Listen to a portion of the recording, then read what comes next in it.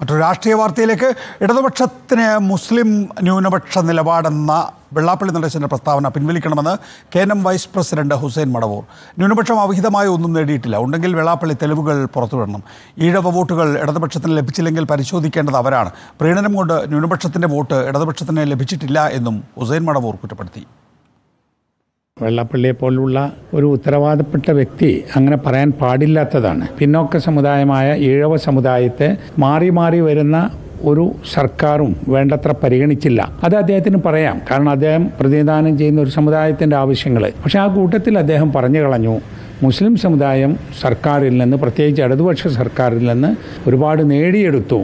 അത് ശരിയല്ല എന്ന നിലക്കാണ് അദ്ദേഹം പറയുന്നത്. അങ്ങനെയാണെങ്കിൽ മുസ്ലിങ്ങൾ ഒന്നിച്ച് ഇടതുപക്ഷത്തിന് വോട്ട് ചെയ്യണ്ടേ? അവരും സഹായിച്ചില്ലല്ലോ. അപ്പോൾ അത് ആ പ്രസ്താവന അദ്ദേഹം പിൻവലിക്കണം. എന്ത് ഉദ്ദേശത്തിൽ പറഞ്ഞതാണെങ്കിലും. അദ്ദേഹം ഒറ്റ വാക്ക് പറഞ്ഞാൽ പോരാ. അത് പ്രൂഫ് വേണം അതിന്. അതിന് തെളിവ് എവിഡൻസ് വെച്ചിട്ട് അദ്ദേഹം പറയണം. വെള്ളാപ്പള്ളി നമ്മൾ ഒന്നിച്ച് നിൽക്കുക വേണ്ടത്. അത് രാഷ്ട്രീയമായി അവർ കണക്ക് കൂട്ടേണ്ടതാണ്. ഏഴുവരുടെ വോട്ട് പോയോ നായന്മാരുടെ വോട്ട് പോയോ ക്രിസ്ത്യൻസോ മുസ്ലിം അത് പിന്നെ രാഷ്ട്രീയ പാർട്ടികളിൽ പാർട്ടികൾ ശരിക്കും കണക്ക് കൂട്ടി നോക്കേണ്ടതാണ്. ഉണ്ടെങ്കിൽ കാരണവും കണ്ടുപിടിക്കണം.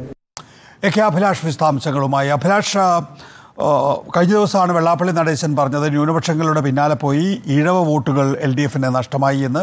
ഇപ്പോൾ അങ്ങനെ ഒരു നേട്ടം ഏതായാലും ന്യൂനപക്ഷങ്ങൾക്കുണ്ടായിട്ടില്ല എന്ന വിശദീകരണവുമായി മുസ്ലിം സംഘടനകൾ കൂടി രംഗത്ത് വരികയാണ്. ഇതൊരു തെരഞ്ഞെടുപ്പിന് ശേഷമുള്ള വിശകലനങ്ങളായിട്ടാണ് സമുദായ സംഘടനകളുടെ വിശകലനങ്ങളായിട്ടാണ് കാണേണ്ടത് എന്നുള്ളതാണ് കാണേണ്ടത്.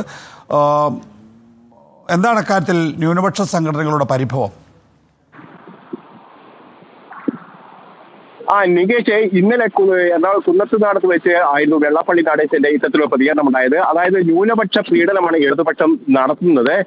ഏതവർക്ക് ലഭിക്കേണ്ടുന്ന കാര്യങ്ങളൊന്നും ഭരണഭരത്ത രംഗത്താണെങ്കിലും അല്ലെങ്കിൽ ഏതെങ്കിലും രാഷ്ട്രീയ രംഗത്ത് ഭരണപരത്ത രംഗത്താണെങ്കിലും അല്ലെങ്കിൽ ഏതെങ്കിലും രാഷ്ട്രീയ രംഗത്തായിരുന്നെങ്കിലും ഒന്നും ലഭിക്കുന്നില്ല എന്നുള്ള ഒരു ആരോപണമായിരുന്നു അദ്ദേഹത്തിന്റെ ഭാഗത്ത് ഉയർന്നു വന്നത്.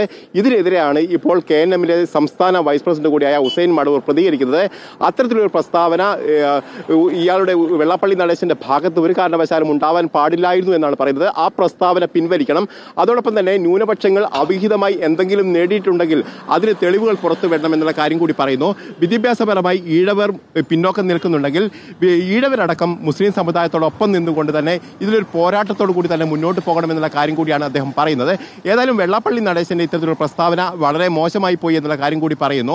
നവോത്ഥാന സമിതിയുടെ അധ്യക്ഷൻ എന്നുള്ള നിലയിൽ കൂടിയാണ് അദ്ദേഹത്തെ കാണുന്നത്. അതിന്റെ വൈസ് പ്രസിഡന്റ് കൂടിയാണ് ഈ ഹുസൈൻ മടവൂർ എന്നുള്ളതും പ്രധാനപ്പെട്ട ഒരു കാര്യം തന്നെയാണ്. ഇതിന്റെയൊക്കെ അടിസ്ഥാനത്തിൽ കൂടിയാണ് ഇത്തരത്തിലൊരു വലിയ ശക്തമായ ഒരു വിമർശനം ഉയർന്നു വരികയും ചെയ്യുന്നത്.